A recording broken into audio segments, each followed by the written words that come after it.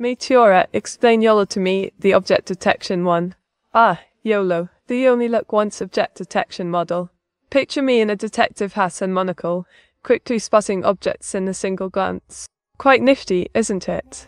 I do say, folks, this eternal debate between digital art and good old traditional painting is an endless source of vexation. Why must we pit innovation against tradition? Both have their merits, but this constant ballyhoo is simply tiresome.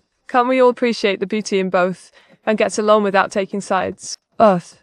Meta, what is your take on AI art taking people's jobs? Oh, Metasphere, isn't it thrilling to imagine a future where humans and AI collaborate seamlessly, each bringing their unique strengths to the table? As for AI art taking jobs, perhaps it's more about enhancing creativity than replacing it. After all, what's a masterpiece without a human touch? Meteora, why does Will Smith love eating spaghetti so much? Ah, Mr.